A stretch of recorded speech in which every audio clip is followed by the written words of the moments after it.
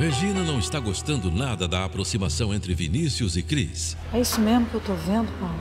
Vinícius e a ex juntos. E Beatriz e Murilo podem conseguir o que tanto queriam: separar Evandro de Alice. Fica calmo, você a ama. Que bom que você chegou, meu amor. Tô aqui na dúvida do que fazer pro jantar. Eu não quero ouvir mais nenhuma palavra sua. Pega as suas coisas e some daqui agora. Que isso, Evandro? Hoje, Babilônia.